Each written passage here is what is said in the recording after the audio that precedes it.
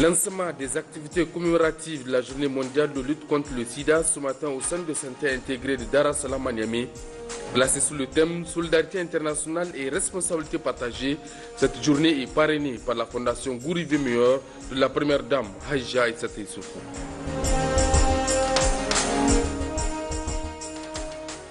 Après la fièvre électorale, les partis politiques sont tenus d'enlever les affiches banderoles haute fanion sur les édifices et places publiques. Respect des textes réglementaires et souci d'embellissement de la ville de Niamey, constat dans un instant.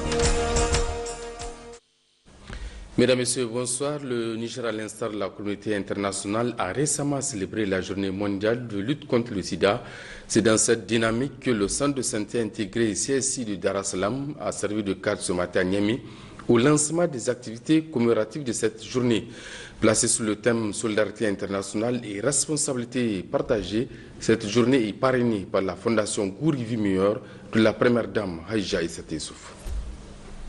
C'est dans un contexte sanitaire marqué par la pandémie du Covid-19 et du respect des mesures barrières édictées par le gouvernement que très sobrement s'est déroulé ce matin au CSI Dar le lancement des activités marquant la célébration de la journée mondiale de lutte contre le sida. Organisée par la Fondation Gourivi Meilleur en collaboration avec le ministère de la Santé publique les partenaires techniques et financiers, notamment l'ambassade de la République populaire de Chine et l'ONU SIDA, cette journée est placée sous le thème Solidarité mondiale et responsabilité partagée. À cette occasion, le directeur exécutif de la Fondation Gourivi Meilleur a, au nom de la Première Dame, présidente de la Fondation et marraine de la lutte contre le sida, Haja Aïsata Issoufou, prononcé une allocution pour mettre en exergue les efforts de lutte contre le VIH en lien avec la pandémie du Covid-19. La Covid nous impose de revoir nos stratégies et les adapter au contexte, tout en réduisant les risques de propagation de cette pandémie. Ainsi, la Fondation Gourivi Meilleur a cette année opté à mettre l'accent autour des centres de santé intégrés afin de contribuer à l'accélération du dépistage de VIH et du traitement. Tout en ayant attention particulière à l'évolution de la pandémie, il y aura une campagne de dépistage volontaire de VIH pendant 10 jours dans les 5 districts sanitaires de Niamey avec des camions unités mobiles hospitalières et pendant 7 jours dans la ville de Tawa. Ainsi, cette campagne sera couplée d'une campagne de sensibilisation sur les télévisions, les radios communautaires et les radios rurales. Quant au coordinateur du programme national de lutte contre le sida, il a rappelé la nécessité pour tous les acteurs de profiter de la présente campagne pour intensifier le dépistage. Tous les services sont disponibles. Le dépistage du, du VIH-Sida, le dépistage des hépatites, la prise en charge de toutes les autres morbidités. Euh, alors c'est dans ce élan, aujourd'hui on se retrouve pour organiser le dépistage du VIH ici dans la ville, de, dans la communauté urbaine de Niamey, dans les centres de santé. Et ensuite, l'équipe va se déplacer au niveau de la région également de Tawa pour euh, accompagner ce dépistage. La même activité est en train de se passer également dans toutes les autres formations sanitaires de notre pays où les dépistages sont faits au quotidien. Plusieurs volontaires ont accepté de se faire dépister sur place tout en respectant les mesures barrières contre le Covid-19. À noter que cette campagne de dépistage couplée à la sensibilisation se poursuivra du 15 au 24 janvier 2021 dans les cinq districts sanitaires du Niamey et du 18 au 24 janvier 2021 dans les districts sanitaires de Tawa. Nous l'annoncions en titre depuis l'avènement des campagnes électorales au Niger en décembre dernier. Les édifices publics construits à grands frais ont servi de lieu d'affichage des effigies de propagande des partis politiques. Toujours visibles, ces pancartes, banderoles et autres supports ont altéré l'architecture de ces édifices construits pour faire de Niamey une ville moderne. Constat dans ce reportage de Abla Ali et Nana Maria Moutari. C'est le même constat qui se répète à chaque fois qu'il y a élection au Niger. Les édifices publics, les principales artères et même les arbres sont entièrement couverts par les affiches, banderoles, pancartes et autres accessoires de propagande des partis politiques. Trois semaines après les élections générales, la ville n'a connu aucun toilettage. Une occupation anarchique qui allédue le paysage car déformant le décor. Récemment, le 12 janvier dernier, la Commission électorale nationale indépendante CENI a publié un communiqué dans lequel elle invite le parti politique à se conformer au texte en vigueur au plus tard le 15 janvier. Visiblement, cette injonction semble ne pas être respectée à ce jour. Pourtant, les textes réglementaires sont clairs. Il faut enlever tous ces supports après les élections. L'activiste Zuber Dansosu, qui conduit depuis des années des initiatives citoyennes, suit de près ces dossiers. Selon lui, il y a vraiment lieu de respecter scrupuleusement les textes. C'est une période de pagaille des partis politiques. Mais si on ne peut pas arranger la moindre chose, on ne pourra jamais arranger les grandes choses. Donc c'est pourquoi il faut, il faut plus qu'une sensibilisation. Il faut une punition. C'est des biens acquis à grands frais. Des, ronds-points qu'on a fait, des monuments qu'on a fait à, des, à coût de millions ou de milliards. Nous sommes des volontaires. Nous allons faire ce que nous pouvons. La construction du Niger commence par une brique, par le, le, le bas. Et ça, c'est le bas. Ça, c'est la chose la moindre qu'on peut faire. Et mais si on n'arrive pas à faire ça, mais on n'arrivera jamais en haut. Ce n'est pas à l'image du Niger, ça ne fait pas notre fierté. Au moment où des efforts considérables sont entrepris pour faire de Niamey une ville coquette avec des infrastructures dignes d'une ville moderne, il y a lieu d'entreprendre un travail de sensibilisation à l'égard de nos concitoyens. Cela participe à la formation citoyenne par les partis politiques et de la préservation de l'environnement. Principaux faits de l'actualité à l'intérieur du pays, à le gouverneur de la région a présidé ce matin à Magria la cérémonie de réception provisoire des travaux de la piste rurale Magria Sawaya Maïkaswa, financée par le FIDA à travers le PRODAF. Précision avec Kader Nanabalkissa et Abdurrahman Mazou. Longue de 16,49 km, cette piste rurale vient rallonger la liste des réalisations financées par le PRODAF au profit des producteurs de la région de Zander. Des pistes à travers lesquelles le programme de développement de l'agriculture familiale PRODAF entend contribuer au désenclavement des zones de production pour une meilleure accessibilité au marché.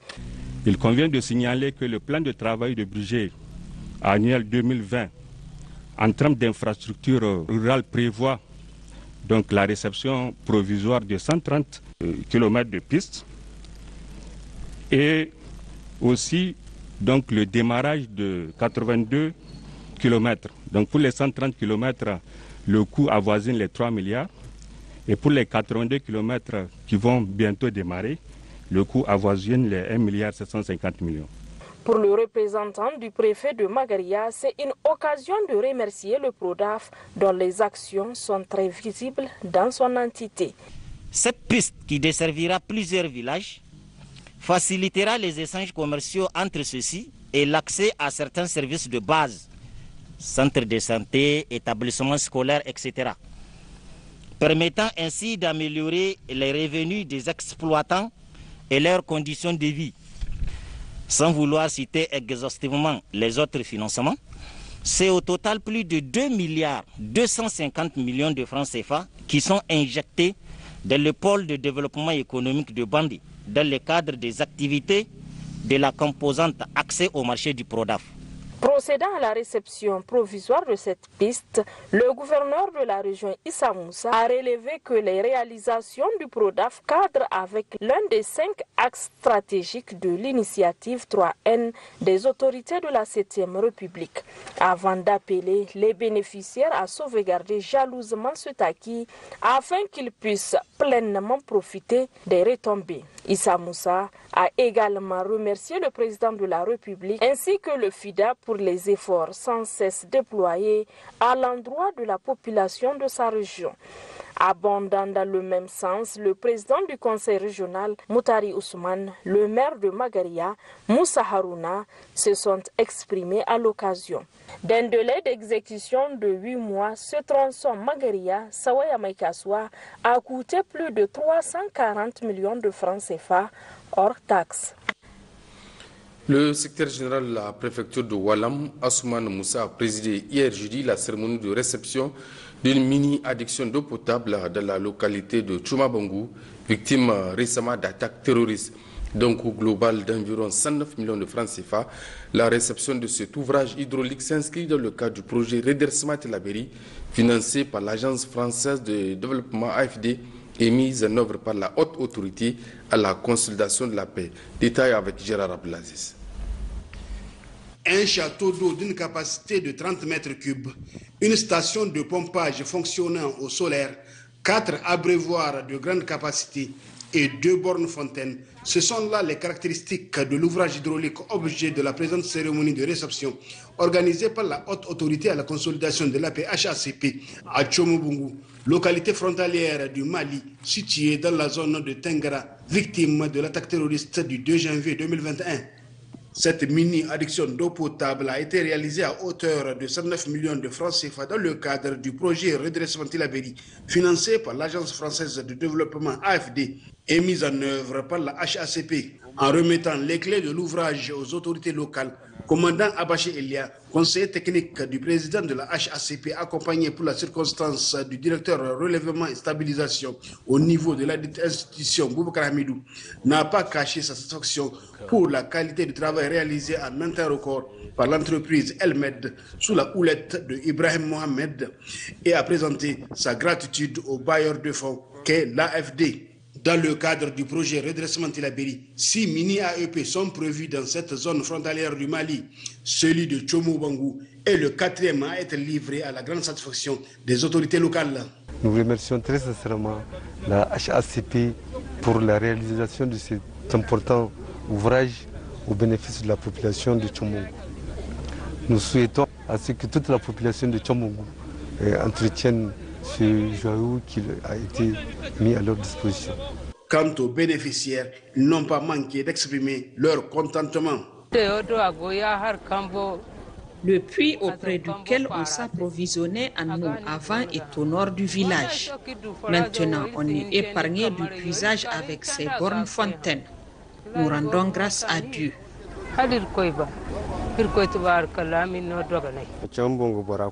Nous remercions le gouvernement, de même que l'AFD, qui viennent de mettre à notre disposition de l'eau potable. Il faut noter que c'est suite à la visite du Premier ministre Brigitte Raffini le lendemain de l'attaque terroriste qui a coûté la vie à plus de 100 habitants de deux villages voisins, Chomobongu et Zarumdare, que le chef du gouvernement a instruit la HACP, qui à son tour a jugé nécessaire la réalisation de cette mini-AEP pour soulager les populations restées sur place. D'ores et déjà, l'initiative de la HACP a donné des fruits, car des populations déplacées ont commencé à rentrer au Bercail. Rappelons que, toujours suite à la visite du Premier ministre du 3 janvier 2021, un forum pour une paix durable dans le Zarmaganda a été organisé cinq jours plus tard.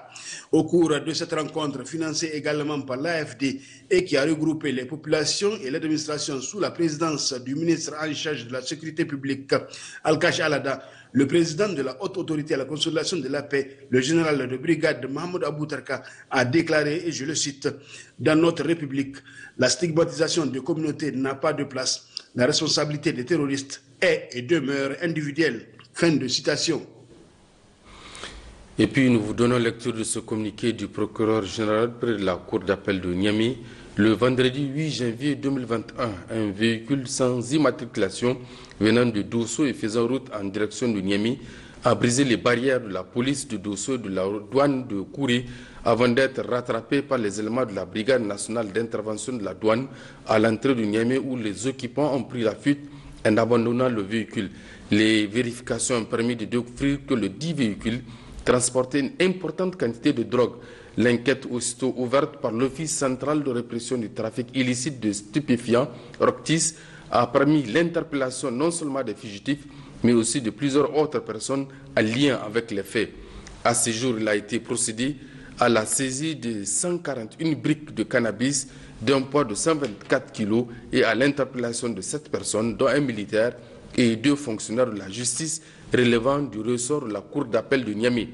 Les investigations se poursuivent dans le strict respect des droits de la défense pour identifier et interpeller toutes les personnes qui sont impliquées dans la la commission de ces faits en vue de les traduire devant les juridictions compétentes qui appliqueront la loi dans toute sa rigueur. Le procureur général adresse ses félicitations à l'artiste et à la douane nigérienne pour les efforts sans cesse déployés en vue de mettre la population nigérienne à l'abri des méfaits de la drogue.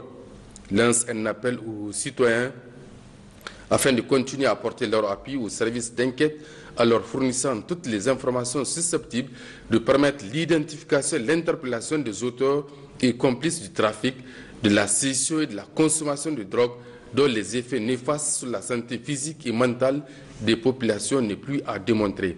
Enfin, rassure l'opinion que l'institution judiciaire mettra tout en œuvre pour faire la lumière sur cette affaire, situer les responsabilités, quel que soit le niveau, et veiller à ce que justice soit rendue dans un délai raisonnable. Cela dit, le chef d'antenne régional du Fonds d'appui à la formation professionnelle et l'apprentissage FAPFA de Maradi a procédé ce matin à la distribution des kits aux maîtres d'apprentissage. Ce sont les locaux de la dite antenne qui ont servi de cadre pour cette distribution d'État avec Aminata Ali Hassan et Issouf Sleman. Cette cérémonie qui consacre la distribution des kits aux vaillants maîtres d'apprentissage, communément appelés MA, vient traduire encore la bonne volonté des responsables du Fonds d'appui à la formation professionnelle et à l'apprentissage FOPA qui ne ménage aucun effort pour que la formation, l'insertion et l'accompagnement des apprenants et de leurs formateurs se concrétisent par des actes constituant l'objet de la présente cérémonie. C'est aujourd'hui un réel plaisir, non seulement pour le chef d'antenne régional du Fonds d'appui à la formation professionnelle et à l'apprentissage dénommé FAPA de Maradi que je suis, mais aussi pour l'ensemble du personnel de la dite antenne. Je peux donc valablement affirmer que ce geste combien important ira droit au cœur des différents récipiendaires, c'est-à-dire les 76 MA, toutes filières confondues ici réunies. Ainsi, avant de terminer cette allocution, permettez-moi d'abord de présenter tous nos remerciements, nos encouragements à l'endroit des MA et au-delà à nos partenaires techniques et financiers pour le climat de confiance et de bonne compréhension mutuelle sans lequel nos objectifs ne seraient atteints. Les maîtres d'apprentissage n'ont pas manqué d'adresser leurs remerciements à FAPA pour les matériels mis à leur disposition. Nous remercions à grand cœur le FAPA. Elle nous a tout fait. Auparavant, ce sont des apprentis qui ne savent même pas comment utiliser les clés. Et maintenant, grâce au FAPA, les enfants là, ils sont des ouvriers. Je remercie la FAPA. Le matériel, ça nous aide à vraiment mener à bien notre travail. Et puis les élèves, elles ne savaient pas beaucoup de choses. Mais grâce à la papa, elles ont pu préparer et ça va leur servir demain dans leur foyer. Par ailleurs, le chef d'antenne de FOPA, Hiro Umaru, n'a pas manqué d'exhorter les apprentis et leurs parents à s'impliquer pleinement dans le processus de l'apprentissage et de la formation professionnelle afin de contribuer à la lutte contre le chômage et la pauvreté qui mine la jeunesse de Marathi en particulier et celle du Niger en général. Nous sommes vendredi, jour saint de l'islam. Le gouverneur de la région d'Agadez a effectué la, prière, la prière en compagnie des fidèles musulmans, puis a participé à la séance de lecture du Saint-Coran et des invocations. Cette cérémonie a été organisée par les autorités coutumières de la cité de l'Aïr, précision avec Assadek Al-Gabit et Mahmoud Adam. En ce jour saint de vendredi, ils étaient nombreux les fidèles musulmans d'Agadez à assister à la grande prière au niveau de la mosquée légendaire Miskini d'Agadez. Parmi ceux-ci, le gouverneur ainsi que l'honorable sultan de l'Aïr. Par la suite, cap a été mis au niveau de la séance de lecture du Saint-Coran, suivi d'invocations en faveur de la paix, la quiétude sociale, la stabilité et bien d'autres enjeux, tels que détaillés ici par son Altesse Al-Haji Oumarou Ibrahim Oumarou, sultan de l'Aïr. Suite à une lecture du Coran que nous faisons chaque jour ici au Sultanat, donc aujourd'hui nous sommes à la 70e phase en profiter pour inviter les autorités administratives pour prier pour notre pays, pour la paix et la sérénité, pour prier pour que les futures élections se fassent dans la paix et dans la sincérité.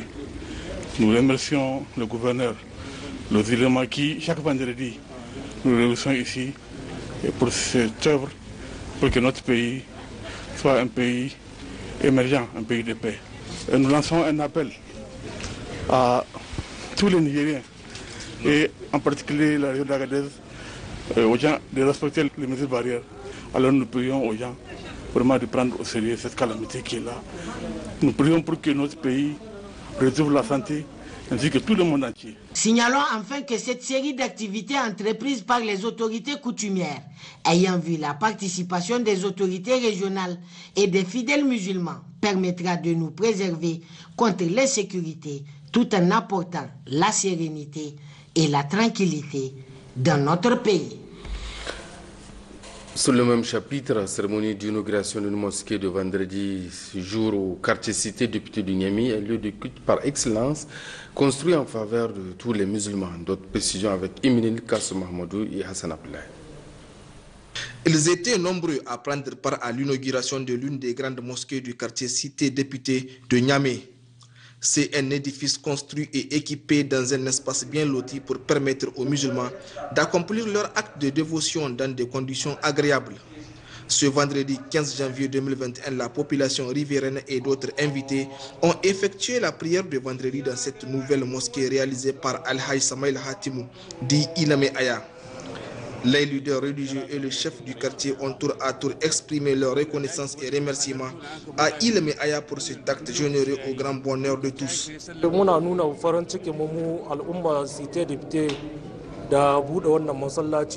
Nous exprimons notre sentiment de joie suite à l'ouverture de cette grande mosquée.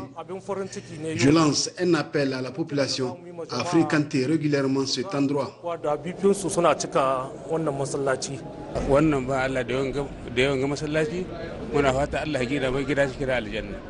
Que Dieu accorde aux promoteurs de cette mosquée une place au paradis. masallaci ɗaki Allah ne yanzu bakin da yanzu ya kare gina ta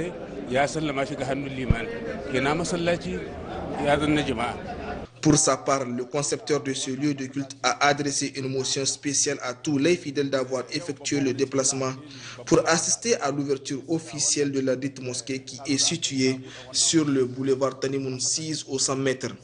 Cette nouvelle mosquée contribuera à l'élargissement de la pratique musulmane et vaudra sans nul doute à son constructeur Ilme Aya la récompense expointée. Tendance Covid-19 au Niger à présent, les résultats des examens virologiques de ce jour 15 janvier 2021 se présentent comme suit. 47 cas positifs, dont 6 chez les demandeurs de tests spéciaux Covid-19 pour voyage et 41 alertes sur 555 tests réalisés à la Covid-19, dont 20 de sexe féminin, 27 de sexe masculin. Ces cas positifs se répartissent comme suit 14 au niveau de la région de Niamey, 18 au niveau de la région de 1 au niveau de la région de Dosso, 9 au niveau de la région d'Agadez, 4 au niveau de la région de Zender, 1 au niveau de la région de Difa. Un décès enregistré à ce jour au niveau de la région de Niamey. À ce jour, sur 68 594 personnes testées, 4 500 4105 sont déclarés positifs à la COVID-19, parmi lesquels 2862 guéris, 138 décès, 1105 cas actifs, 87 en hospitalisation, dont 4 en réanimation. Le gouvernement attire l'attention des populations sur le fait que le virus circule fortement au niveau communautaire avec de plus en plus de cas présentant des signes souvent graves. Aussi, le gouvernement invite la population au respect strict de toutes les mesures prises. Le port de masque, le lavage de mains à l'eau et au savon et à l'utilisation du gel hydroalcoolique doivent être strictement respectés en toutes circonstances. Pour toute information, appelez le 15 ou le 93 59 18 02. Cela dit, une équipe de la station régionale ORTN de Dosso a réalisé un reportage sur la non-fréquentation des bibliothèques dans les établissements scolaires. Le reportage est signé Namata Soumane Malam et Alhaj Mohamed. Considéré comme un lieu incontournable dans la recherche du savoir, notamment par les chercheurs, les enseignants, les étudiants et les élèves, les bibliothèques sont de moins en moins fréquentées d'après les explications du directeur du CEG 1 de Dosso. Qui dit bibliothèque dit lieu de savoir. Mais ça, moi je dis que c'est l'ancien temps. Aujourd'hui, les élèves ne fréquentent pas les bibliothèques. Même à des rares cas, il faut du forcing.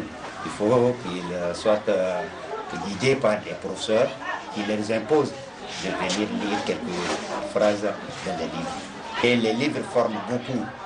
Mais les élèves préfèrent manipuler leur portable au lieu de venir à la bibliothèque. Dans l'ancien temps, il y a ce qu'on appelle les heures d'études.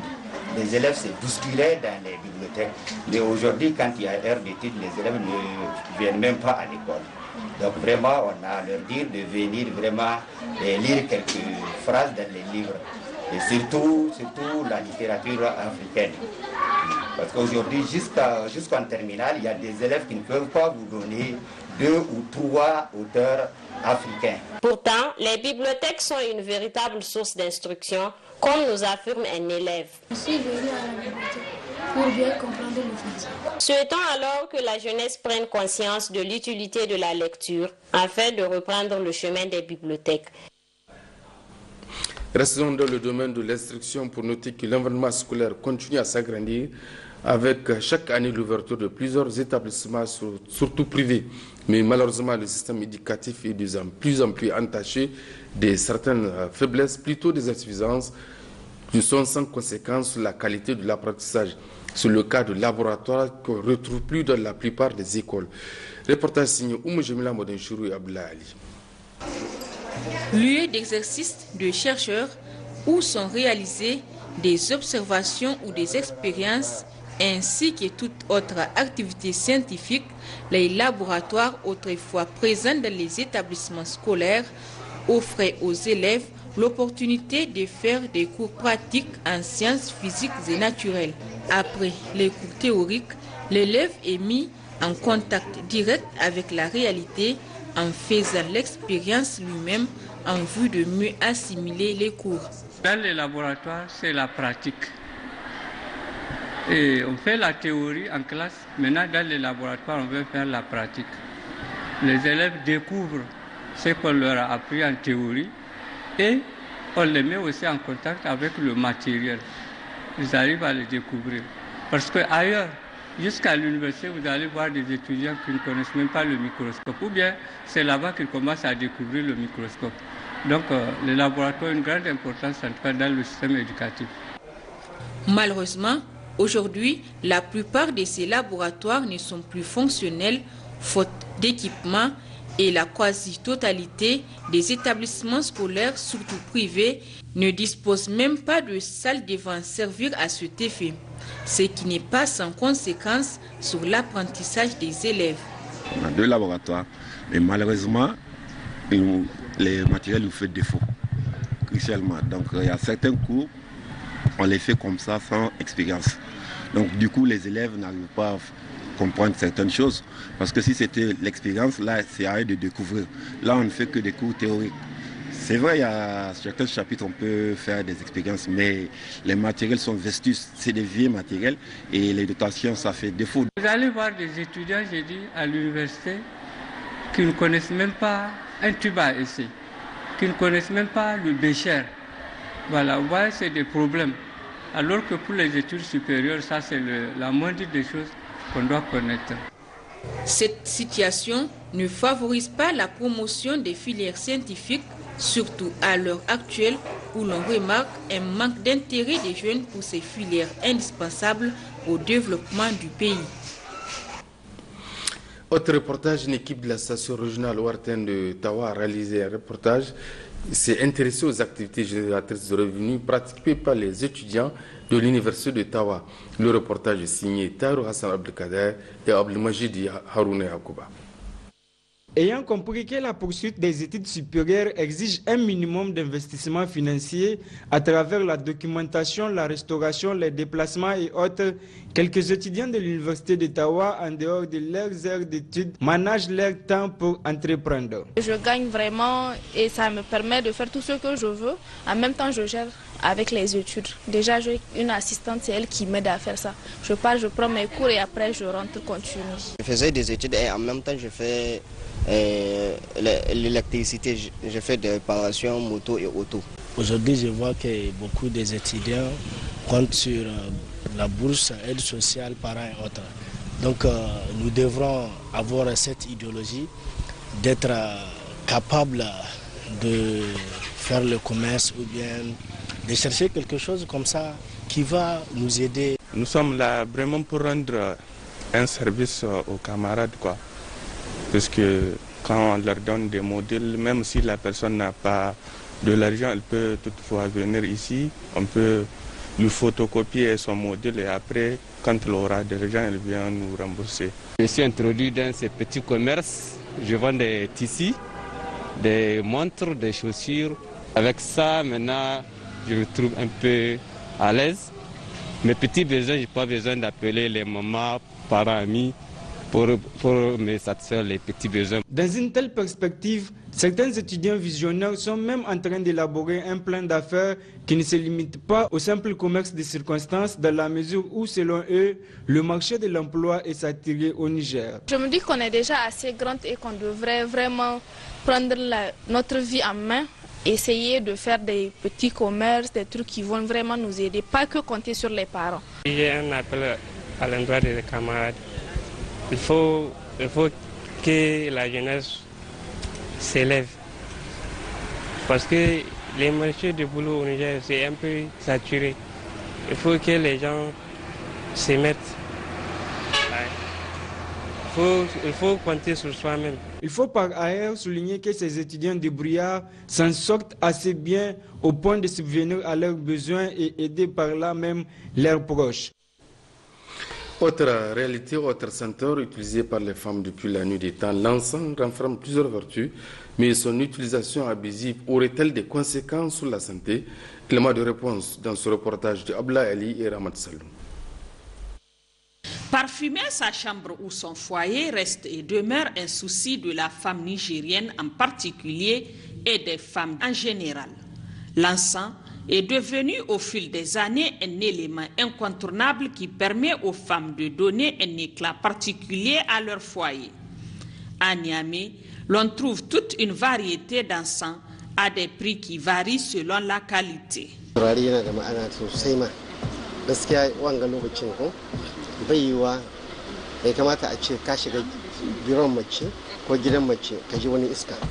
L'encens est d'une importance capitale pour la femme. Ça lui permet en effet de s'imposer et de se faire respecter dans son foyer. kinan ku ya kamata mace ta kama kanta ta kama kanta ta zan kowane lokaci tana dan san turare wanga kuma yanzu turare ba ma dole sai ka sai tsada daidai hininka in kana dala ɗari kana samu jika kana samu hawa hawa ne Cependant, l'utilisation de cette substance n'est pas sans conséquence sur la santé des utilisateurs. Selon les revendeurs, il y aurait de l'encens fabriqué à base des morceaux de bois qui ne sont pas du tout adaptés.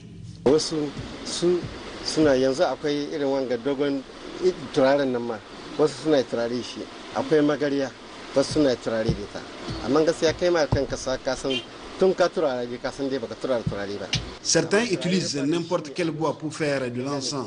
Pourtant, il existe depuis longtemps des bois appropriés pour la fabrication de l'encens.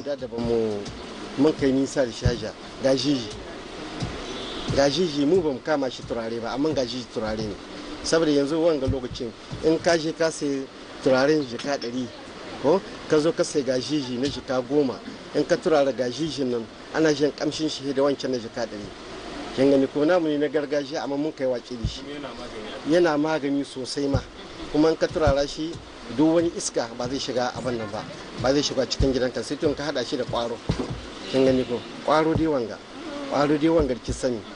Ki sa shi da swahi sallar asuba tun kin share ɗakin ki turara da sallar magariba kuma. Ki turara ta insha Allah duk wani abu ma ba zai shiga cikin gidanki ba Voilà pourquoi la vigilance est fortement recommandée dans le choix de l'encens que l'on utilise au quotidien. C'est pas, c'est pas un bon wushulan. Les, si tu fais le wushulan, les parfums de beaucoup de huile là, il ne faut pas mettre. Si tu mets, elle donne les, les flammes. Pas avoir n'importe quel bois, tu vas écraser. Tu vas dire que toi, tu vas mettre du parfum pour parfumer, pour revendre aux gens. Ça, c'est mauvais. Oui, on donne conseil à nos gens, les grossistes aussi, qui, prennent- qui n'importe quel bois parce que je ne te cache pas. Quand j'ai amené Al-Oud pour qu'on me va me parce que Al-Oud ça vient par bâton comme ça là. J'ai amené ça pour qu'on va m'écraser. J'ai trouvé n'importe quel bois chez la femme là. Avec même les bois qu'on fait tapaski, je ne te cache pas. J'ai vu ça. Elle a donné au monsieur, euh, le gars qui fait coupe. J'ai dit, qu'est-ce que vous allez faire? Elle dit, ah, on va écraser pour faire de l'encens.